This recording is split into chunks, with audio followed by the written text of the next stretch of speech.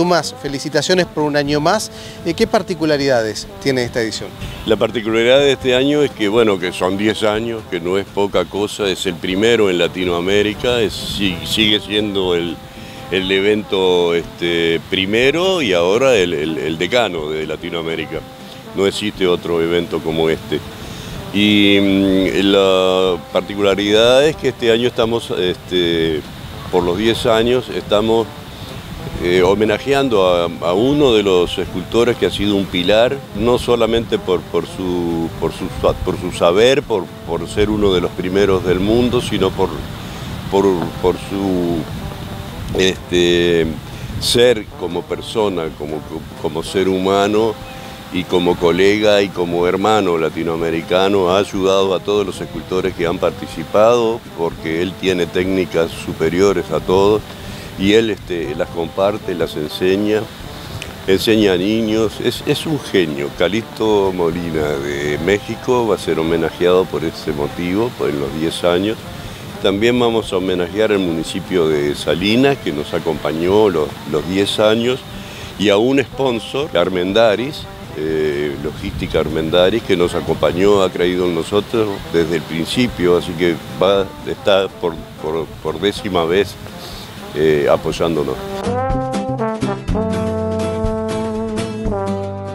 Con el homenajeado de esta edición número 10 de Castillos en la Arena, es muy importante, eh, una distinción para una persona que ha acompañado todo este proceso. Calixto, bienvenido una vez más a la Costa de Oro, ¿cómo le va?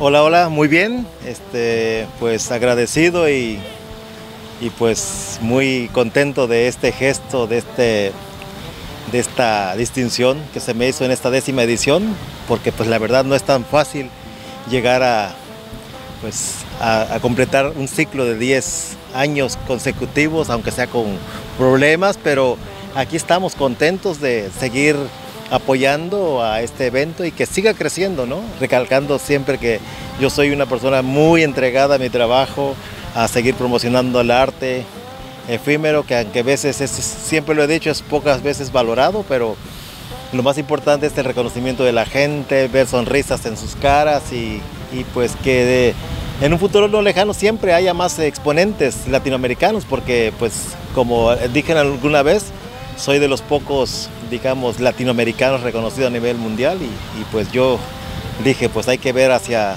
hacia el sur, hacia Latinoamérica y estamos aquí y pues poco a poco me estoy dando cuenta que hay gente que, está siguiendo la corriente y pues todo el mundo quiere estar aquí, entonces contento más que nada y, esto del gesto, pues la verdad sentí que no me lo merecía, pero le doy muchas gracias a, la organización, a las personas involucradas que creen en este proyecto y esperemos que no sea la, la última vez.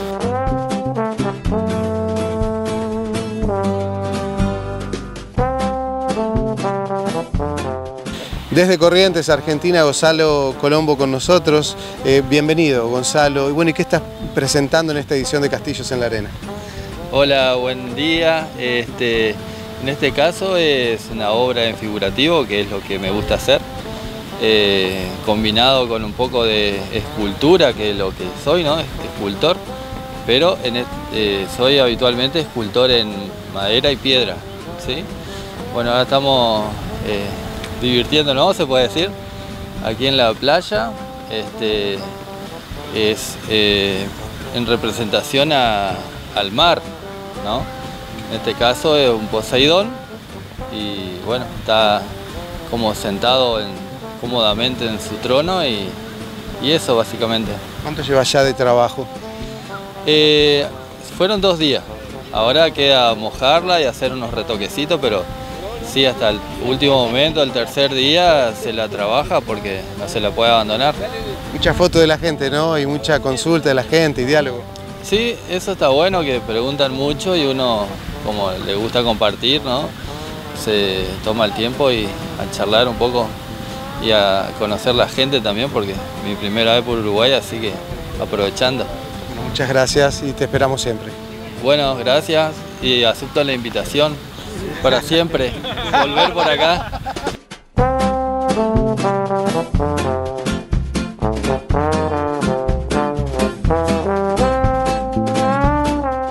Desde Perú recibimos a Mauro en una nueva edición de Castillos en la Arena, en este caso en la edición de Marindia. Bienvenido Uruguay. ¿Cómo viene esta edición, Mauro? Eh, increíblemente bien, este, estoy contento de poder participar en la décima edición de Esculturas en la Arena, de arena en Marindia y agradezco a Dumas Texeira y a las personas que lo están apoyando para poder llevar a cabo. El nombre de este festival este año se llama Maestro Cali, en homenaje a un artista mexicano que siempre ha estado apoyando y aportando de la mano con eh, el señor Dumas y los que organiza. ¿De qué ciudad viene usted, Mauro? Yo vengo desde la ciudad de Mollendo, Arequipa, Perú. Sí. Bien. Bueno, y háblenos de la obra, de la propuesta suya para esta edición, lo que estamos viendo aquí detrás. Ah, ya, bueno, lo que yo eh, eh, he plasmado es un músico tocando un violín. Quería relacionarlo con la música y de paso con algunos rasgos andinos de, mi país. Y he hecho una especie de serpiente andina eh, de una forma simplificada para darle algunos rasgos de, de, los diseños andinos que tenemos en mi país. Y eso es lo que quería, que quería compartir con el pueblo uruguayo. Hablando de compartir, ¿no? acá hay dos cosas bien interesantes que siempre todos nos comentan en cada edición de la fiesta. Una es la interacción y la relación que se da entre ustedes, los artistas. Y la otra, no menos importante, es esa ida y vuelta que se da con el público. Yo estoy viendo ahora a la gente sacando fotografías de su obra, a veces conversando con ustedes. ¿Cómo lo viven? Ah, es muy bonito porque esto, como dijo, ¿no? es, es un compartir, es una confraternidad, es un encuentro que nos hermana a todos, los artistas que venimos a participar de este bonito evento y a la vez también, como dijo, ¿no? este, compartimos y y hacemos eh, nuestros conocimientos ¿no? de lo que se, se hace trabajando en la arena.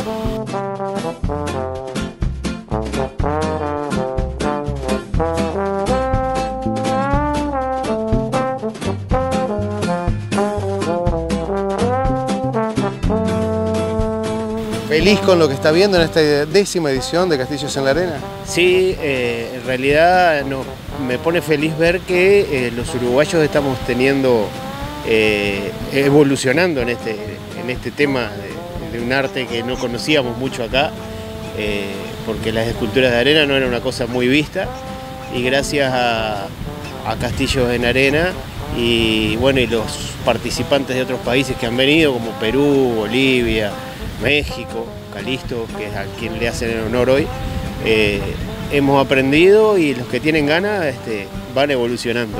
En su caso, ¿cuánto hace que está incursionando en esta materia?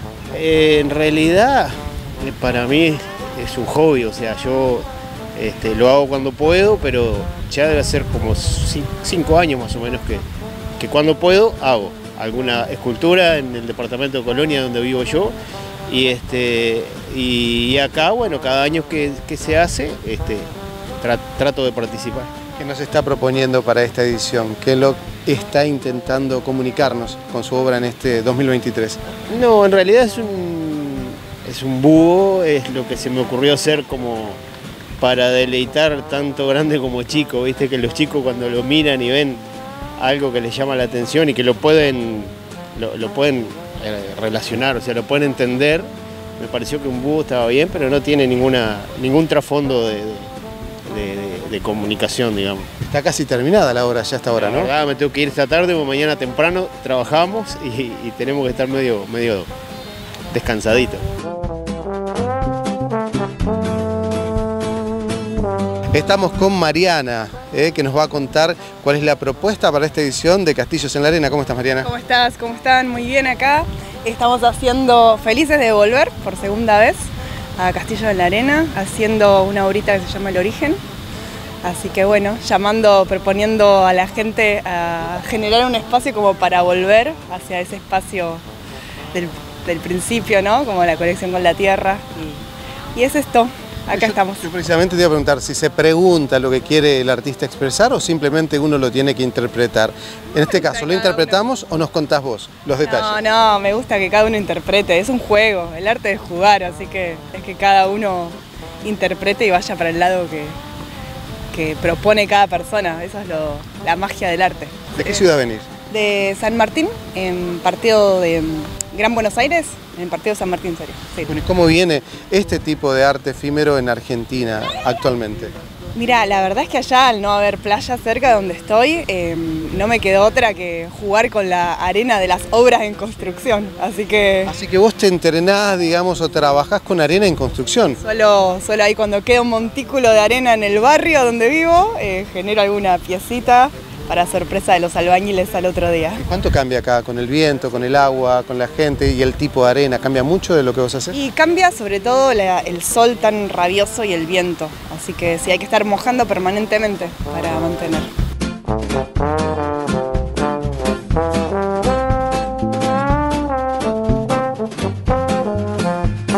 Países estamos viendo en esta jornada de Marindia? Y tenemos eh, presentes a Argentina, eh, Paraguay, Perú, México y Uruguay.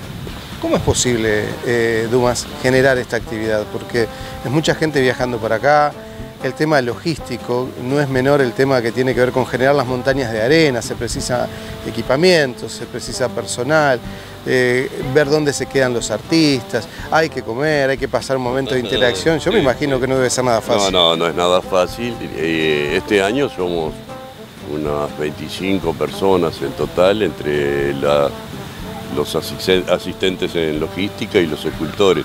Pero hemos sido más de 40, ¿no? Y, este, y bueno, lleva un trabajo muy arduo realizado. Yo arranco ahora en abril ya para trabajar para el 2024. Este, hay que hacer mucha coordinación y conseguir los fondos es lo más difícil, ¿no? Sí, sin duda.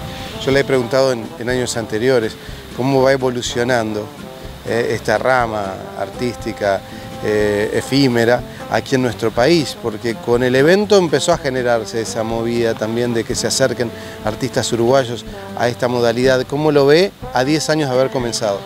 En realidad eh, no, no estoy satisfecho con la cantidad de escultores uruguayos que se han formado.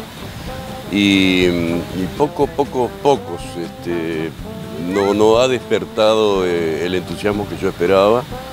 Pero bueno, hay que seguir, hay que seguir peleando, ¿no? Es decir, la constancia es, la que va a dar sus frutos a lo largo del tiempo. Bueno, y fuera de lo que es Castillos en la Arena Dumas, ¿qué otras actividades o novedades vamos a tener aquí en la zona relacionadas con la cultura, el tema del camping, otros encuentros? ¿Qué podemos adelantar? Bueno, nosotros, eh, por ejemplo, este año pasado tuvimos eh, también, un- ganamos un proyecto eh, financiado por Ibercultura Viva, que es un dinero que viene de España y Portugal, para cuatro o cinco países de Latinoamérica. Estuvimos ahí en- en- entre 200 y pico de postulantes, salimos 17 en toda Latinoamérica por segundo año consecutivo. No sé si este año se- saldremos o no, pero aparte tengo también este, un proyecto Esencia Escena que lo he realizado. Es un proyecto muy lindo que dio, dio muy buen resultado. Lo vamos a repetir este año en abril y mayo. Es una serie de mini espectáculos de 6 a 12 minutos, eh, diferentes ramas de- del arte escénico y, este, y es, es, es muy, muy, muy bonito y dio un resultado tremendo. Vamos a ver este año qué, qué pasa, pero digo, ya estamos trabajando para el- ese evento que, que vamos a realizar. Bye.